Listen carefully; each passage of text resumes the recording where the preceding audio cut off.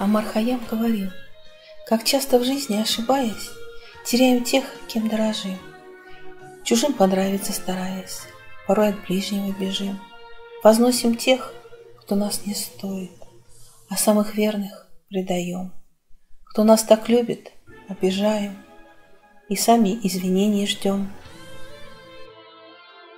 Я думаю, что лучше одиноким быть, чем жар души кому-нибудь дарить.